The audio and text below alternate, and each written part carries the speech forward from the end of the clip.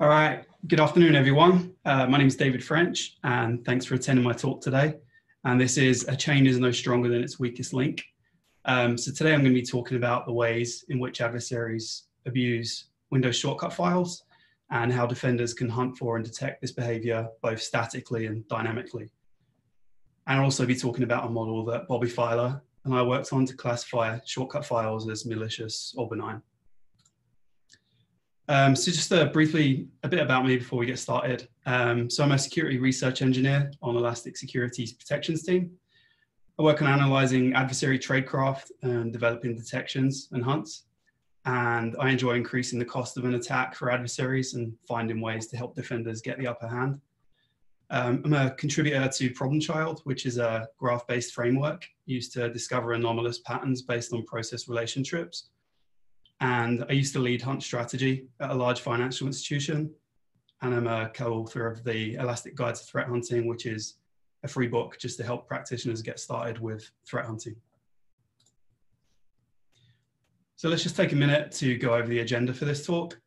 Um, so I'll be talking about some of the reasons why I think attackers are abusing link files and have done so for several years now. Um, for those who are not familiar with analyzing link files, I can go over the file structure and the properties that practitioners need to know about when they're either analyzing or detecting malicious links. And then I'll walk through some examples of how attackers are abusing link files in the wild to help them achieve their objectives. And then I'll call out the interesting features of those files along the way that make them stand out as suspicious. And then I'll talk about how we built a model to classify link files using machine learning and I'm going to be walking through this process to show how security practitioners can apply their domain knowledge to extract features from samples and then apply data science techniques to try and solve a security problem. And then we'll wrap up by talking about some possible next steps for the research and then share some useful resources for people who want to learn more. So before we cover link file anatomy and how attackers are abusing them, um, let's go ahead and talk about some of the reasons why I think they've abused this, file they've been abusing this file type for some time. Um, so here are some of the reasons why I think um, they've been abusing them for several years now against their targets. Um, so firstly, crafting malicious links um, or modifying existing ones to include a backdoor is super easy. Um, the barriers to entry are really low uh, due to the availability of just off-the-shelf open source offensive security tools. And if you're interested in those, I've included a few examples on this slide. Um, so although some people get frustrated over free and open source security tools um, or offensive security tools, I think they really provide blue teams with the opportunity to simulate adversary activity pretty easily, test their defenses, and then understand their organization's ability to detect or prevent that activity. Um, so I think traditional AV software has typically had poor detection rates for malicious links from what I've observed. Many of the scanners on VirusTotal miss uh, malicious link on day one, but then detection rates seem to move towards 20% um, or greater within a few days of the file being submitted. So I think um, a couple of reasons these low detection rates um, might be a thing is due to the fact that there are just so many different combinations of values that can exist in link files. Um, I think AV companies might be concerned about making mistakes or quarantining or deleting the wrong files and then disrupting a user's workflow. And then we've got um, an easy delivery. It's really easy to get weaponized link files into a victim's environment. So most email gateways, proxies, firewalls, they're not configured to inspect or block this file type um, because of its legit use cases. And then finally, I think uh, lack of user or practitioner awareness might be a contributing factor to why attackers often evade our detection when using this technique. Um, so users are probably not aware of the dangers of shortcut files and security analysts might not be familiar with the ways they can be abused and how they can analyze, detect or hunt for them. So just to sum up this slide really, um, I think once we can reliably detect and prevent a technique, um, it's only then that attackers will be forced to go through the expensive, time-consuming process of changing their behavior um, and this will increase the cost of an attack for them and then tip the scales to give defenders the advantage. So as you can see from some of the examples I've included on this slide, um, attackers have been abusing link files for over 10 years. Uh, the use of this technique is still prevalent and successful for them. So if you look in the MITRE ATT&CK knowledge base of adversary behavior, um, there are about 30 references there and all of them link to a report with details of a successful intrusion against an organization that, that used this. So I won't read off all these examples for you, but um, you can see that attackers have used link files to do things like maintain persistence in the victim's environment, steal credentials, obtain initial access, and execute ransomware.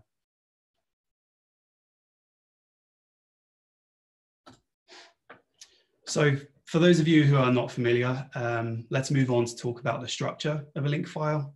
So this is going to show you the minimum amount of information that you as practitioners need to know in order to be successful in either detecting or abusing link files, depending on what your, your goal and your day job is. So when I think about the minimum amount of information that defenders and attackers need to know, I think that blue teams must know the basic anatomy of link files and how to analyze them in order to identify one is malicious or benign. And then attackers must know how link files can be abused and what defenders are looking for in order to evade detection. So in a nutshell, a link file is just a convenient pointer to another file. Um, the target of the link file, like you can see at the bottom right hand of this slide, um, it's not the only interesting information. So there's a bit more to link files than what you can see when you just right click one and select properties. so in these next few slides, I'll, I'll go through the structure and properties of a link file that you need to know about. Um, so Microsoft's specification for this file type is about 50 pages. Um, I'll save you some time and just call out the highlights. So here are the values of the file signature or the magic number and the class identifier that enable us and the Windows OS to identify link files even if the file extension is not .link. Um, so you've got several open source link file parsers available. Um, I like to use Eric Zimmerman's LE command. Um, it's fast, it's reliable, and you can. There's an option to parse link files in bulk. Um, so I'm going to be using LE command in the examples that I'll be walking, walking through in this presentation. So here's an example output from LE command after a benign Internet Explorer shortcut is parsed, just an example. Um, I'll call out the properties that you need to be aware of. So first and foremost, um, the target of the link file is stored in a list format in the file structure. Um, LE command just goes ahead and parses that out for us and conveniently displays the full path for us. And then you've got the file size property. Um, this is the file size of the link file's target, not the link file itself. So something to be aware of if you're doing forensics.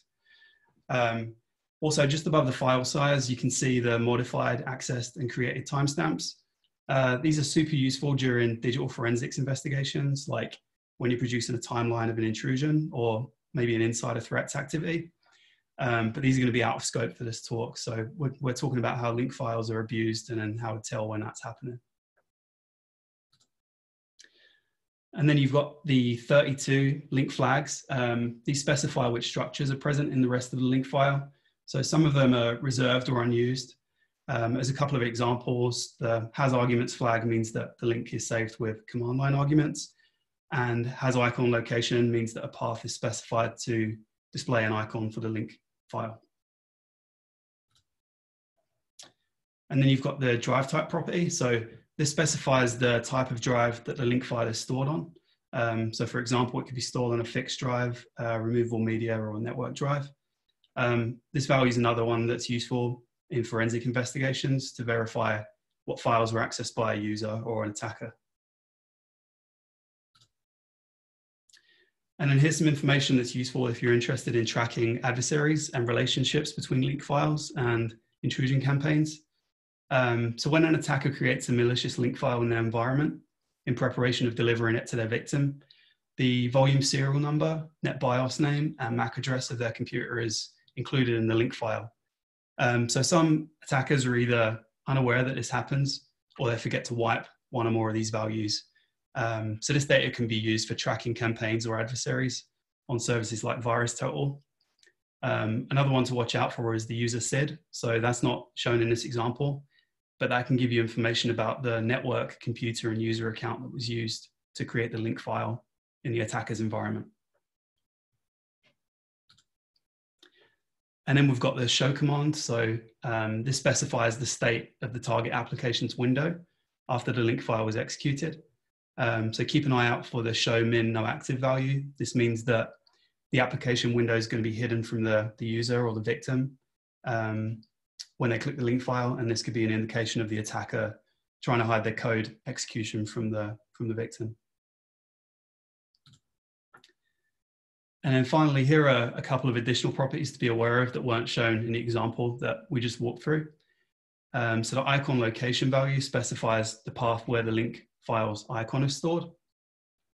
Um, and the command line arguments, they're executed with the link file's target when the link is clicked.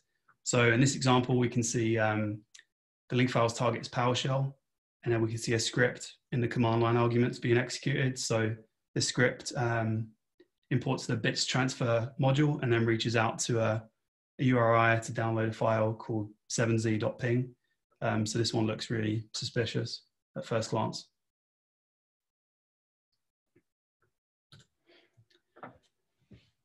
So in this next session, we'll review some of the ways that attackers use malicious link files to achieve their objectives. Um, I'll walk through an analysis of some malicious examples and then point out the features that make them stand out as suspicious along the way. So um, what I'm going to give you here is some information that you can use in your detection or threat hunting efforts. So weaponized link files are commonly used to obtain initial access or to maintain persistence in a victim's environment. Um, to gain initial access to a target environment, attackers will often craft a link file to execute, execute a malicious one-liner or a script.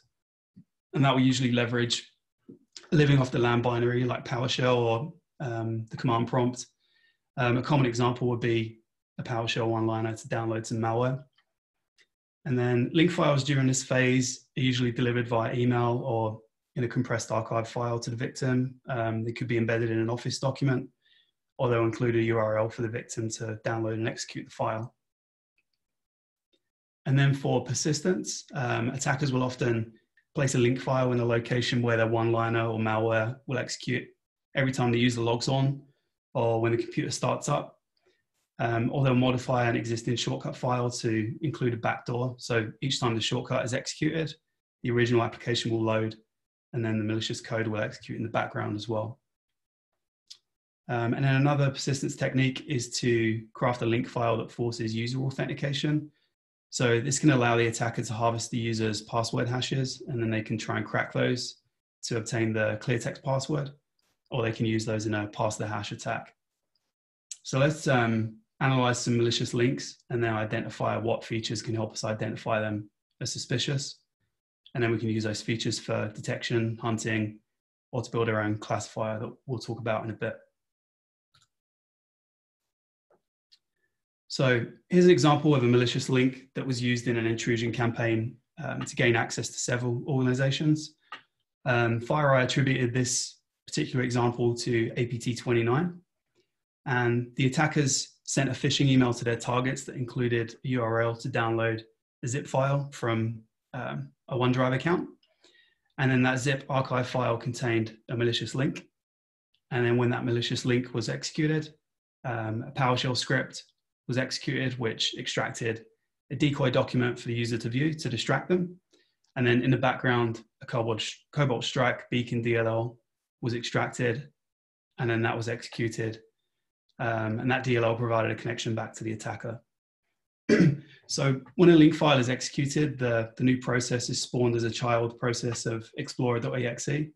Um, that can make dynamic detection a bit of a challenge but there are other ways to identify malicious link files, um, and we can walk through those examples. So let's examine this link file that was used in this campaign and understand what makes it look suspicious. So when we parse this malicious link file and start to look at its properties, some things immediately stand out as suspicious. Um, so this link file's target is PowerShell.exe, which is um, a commonly abused binary used to execute malicious code or scripts. And then it's got long command line arguments that usually indicates the presence of um, an encoded command or a script. And we can see in this example, it looks to be a base 64 um, blob of encoded data. And then we've got the parameters non-interactive to prevent an interactive prompt from being displayed to the victim. And then um, execution policy bypass to bypass any default PowerShell kind of execution policy that's configured. So something that's important to note with regards to the command line arguments, um, when you look at the properties of a link file in the Windows UI, the file's target and command line arguments will be truncated after 260 characters. So in an attempt to evade detection, um, attackers have been known to craft malicious links with a benign target and then include some padding like white space before the command line. And then that will hide the full value from the Windows UI and sometimes evade detection or um, kind of a human analyzing the link file. And then here are some additional features that help us identify this, this link file as suspicious. So um, I mentioned earlier that the show command, if that's set to show min no active, that will mean that the application window of the new process will be minimized and not immediately visible to the victim who clicks. and then um, this is a good one. So link files are usually between four kilobytes and 20 kilobytes. This one is 400 kilobytes. Whenever I see a large link file like this one, um, it leads me to believe that the file contains other embedded content like files or scripts. Um, this one is, if you recall from earlier, it contains a malicious DLL and a decoy PDF document, um, which accounts for the larger file size. And then the zone identifier is a good one to, to look out for as well. So um, depending on the internet browser or the application that was used to download the file, um, a zone ID alternate data stream will be added to the file to indicate it was downloaded from outside the host network. So a zone ID on a file greater than one typically means that it came from outside of the network. Um, another interesting feature is the entropy or randomness of these link files. So the top screenshot shows the entropy of the malicious link um, that we've been talking about. And the bottom one shows the entropy of just a benign Google Chrome shortcut file. So a link with high entropy can be an indicator that the file contains compressed or encrypted content. Um, so for this example, the, the number of suspicious features have really added up. So um, let's move on to look at another couple of examples. So another technique that attackers can use to is to uh, modify an existing link file to include a backdoor. So each time the user clicks on the link file, um, say it was Google Chrome, just as a, to see this example on this slide, um, Google Chrome will still execute, so the original binary is executed, but the backdoor is also executed in the background um, away from the user.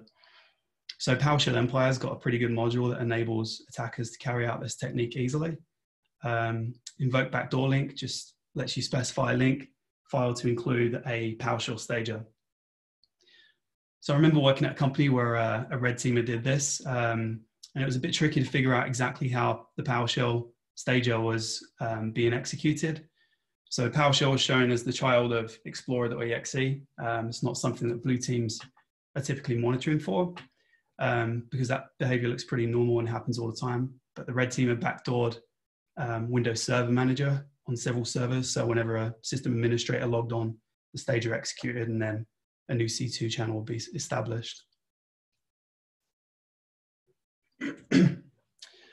Um, so another technique available to attackers is to include an IP address or URI in the icon path of a link file. Um, so when Windows renders the link file in Explorer, it forces SMB authentication from the victim host to the attacker's IP address. Um, so one way to reduce the effectiveness of this one is to block egress SMB traffic from your network. And that will stop them from capturing the hashes and trying to crack them or using them in a, a pass the hash attack. Um, but still, if the attacker is already in the network and they place a link file on a heavily used network share, it can still be quite effective at capturing hashes from thousands of users inside your network. um, and here's an example of that technique being used for your reference. Um, so offensive tools like LNKUp make it easy to craft one of these link files to carry out the technique. And then you can use the SMB authentication capture Metasploit module, and you can collect the password hashes. Um, so given this, this presentation is only 30 minutes, I don't, I don't have enough time to go into detail about the behavior-based detections for malicious links. Um, Elastic has open sourced event query language, which is uh, um, originally created for security detection and threat hunting use cases, and it's currently being integrated with the Elastic Stack. Um, it's easy to learn and read and write queries. Um, you can query on sequences of events for different event types. Um, and in the appendix of these slides for your reference, I've, I've included um, some behavior-based detections for malicious links. And you can check out the EQL analytics library if you're interested in free detections. Um, there are about 130 free analytics for detection and they're all mapped to the MITRE ATT&CK matrix. so with regards to hunting for malicious link files in your environment, um, here's a crude but effective method that can produce a big win for your team. Um, so it's amazing how many threat groups try and evade our defenses, but then they risk giving themselves away by creating a link file in the user's startup folder to maintain persistence. And then that link file will execute every time the, the victim logs on. Um, so it's one of the oldest tricks in the book, but it still goes undetected in a lot of environments um, because defenders aren't looking. So a quick hunt would be um, to use LE command to parse the link files in commonly abused locations on your endpoints. And then you could index that data in a central repository or SIEM. And then you can query and visualize that data to surface normally. So um, a simple but effective method is you can sort the results in ascending order by the link file's target or command line arguments. And then once you've learned what's normal in your environment, this should be a low effort hunt to either automate or just complete periodically. Um, so one way to approach the problem of identifying link files as malicious or benign is um, to call it a classification problem. Um, so while examining several link files and then identifying the features that make them stand out as suspicious, uh, we tried to build our own classifier to um, classify them using data science techniques. So the next few slides show a practitioner's attempt to use machine learning to classify link files and explain the process from start to finish. So my goal is that this shows practitioners how accessible um, data science techniques are and that machine learning can be effective at solving a problem most of the time, but it's not a silver bullet. So early on in the talk, when we were parsing link files and then identifying the important features to help us understand if they're malicious or benign, we were doing feature extraction. Um, we're essentially transforming our domain knowledge into features and then we can apply machine learning or other data science techniques to try and solve the problem. So I analyzed lots of malicious and benign link files um, and started building out a data set. Um, so when we decided to build a, a model, um, I had to normalize that data before I could run it through any algorithms and then try and predict whether a, a file is malicious or benign. So um, how do we go from thousands of link file reports like the one shown on this slide to something like this? Um, which is an array that represents the features of the parsed link file shown on the left-hand side. Um, so the model that we want to run our data through needs to be needs to see data in this kind of numeric format. So um, some features of a link file, um, like file size or entropy, they're, they're, already in a numeric format, so those are easy to handle. Um, but how do you present represent features like command line arguments as, as a number? Um, so this was called um, feature engineering. So um, we were asking questions of the link file data. So um, we separated file sizes into bins. Um, larger link files would be in a bin with a higher number. Um, and for values like the show command, um, we can just use the pandas uh, libraries factorize function. That gives a numerical representation of these values. And then for the remaining examples on this slide, um, we just create features in a binary like true or false, one or zero method by checking each link file for certain values. So uh, does a link file have long command line arguments, true or false? Does it have high entropy? That kind of thing. So um, end result was just this normalized data set of uh, malicious and benign kind of labeled link files. So then after preparing the data set, um, I started looking at possible methods to classify link files. So one option was a decision tree. Um, very simple example shown on this slide. So decision trees answer sequential questions and then operate in a if this then that method and then they lead us to the answer. So is the file malicious or benign? Um, advantages of decision trees are that they're fast they don't need a lot of data they're easy to interpret. Um, disadvantages that, that they're slow to train and then uh, difficult to tune So then we decided to try and use a random forest classifier. so this classifier essentially takes a set of decision trees from a randomly selected subset of the data. And then what you end up with is multiple trees with different portions of data. Um, each tree gets a vote on what the answer should be. And then those votes from the individual trees are aggregated to decide if the final class of the link file is uh, malicious or benign. So um, the good thing about this type of classifier is even if a few individual decision trees are prone to noise, the overall result, once all the votes of the decision trees are aggregated um, or considered, should be correct. Um, so here's some information about the experiment that we set up using the data set and training a random forest classifier to try and identify the links as malicious or benign. Um, so the data set consisted of around 2,500 benign and 30,000 parsed and labeled um, malicious link files. So this is um, quite an imbalance, but this is um, a common challenge when attempting to solve security problems using data science. Um, but the extracted features should be descriptive enough to separate malicious from benign samples. Um, so let's move on to talk about how we train the classifier and then what the results look like.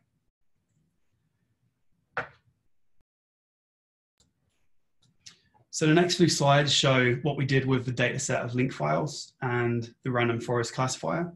So at this point, every link file in the data set was parsed and um, normalized into an array, what you see on this slide.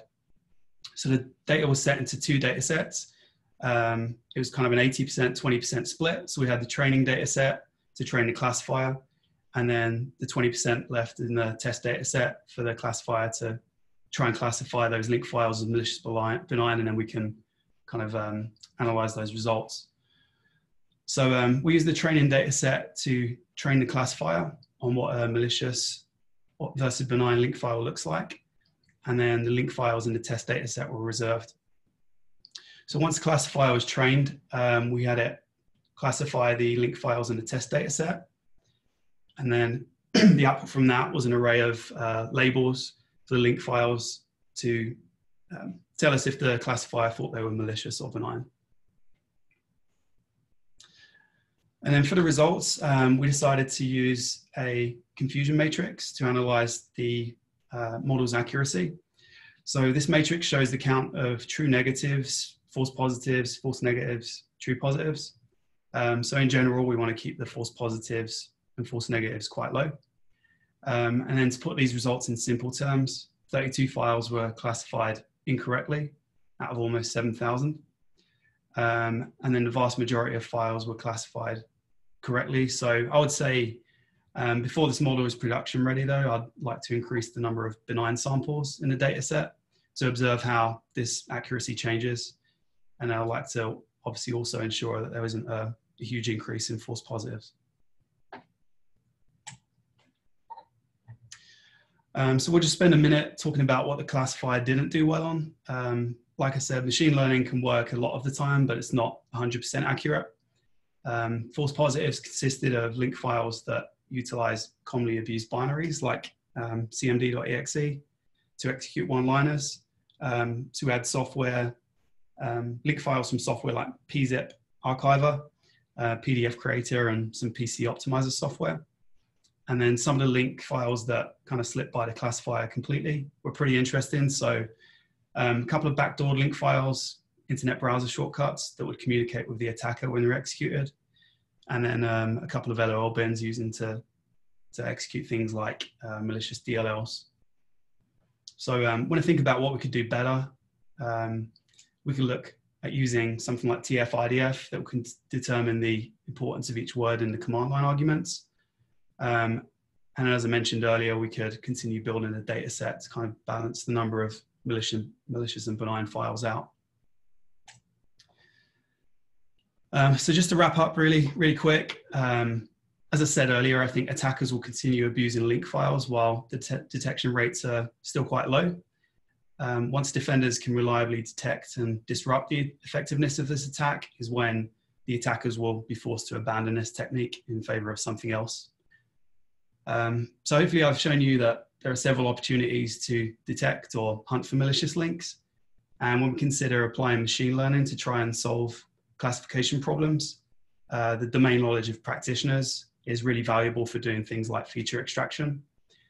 And um, data science techniques are accessible to practitioners, but if you're able to work with an experienced data scientist on a problem, um, they can help you avoid common pitfalls like interpreting results incorrectly or maybe choosing the wrong algorithm or classifier to use. And then um, it's just important to note that this research doesn't solve the problem entirely. Um, I'd like to continue building the, the data set of link files and extracting additional features for the classifier.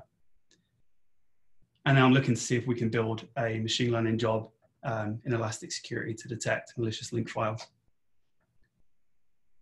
Uh, so I think I'm at the 30 minute mark. Um, you can reach out to me on Twitter or I'm on the B-Sides um, Slack workspace, so you can reach out to me there. But um, yeah, thanks for attending.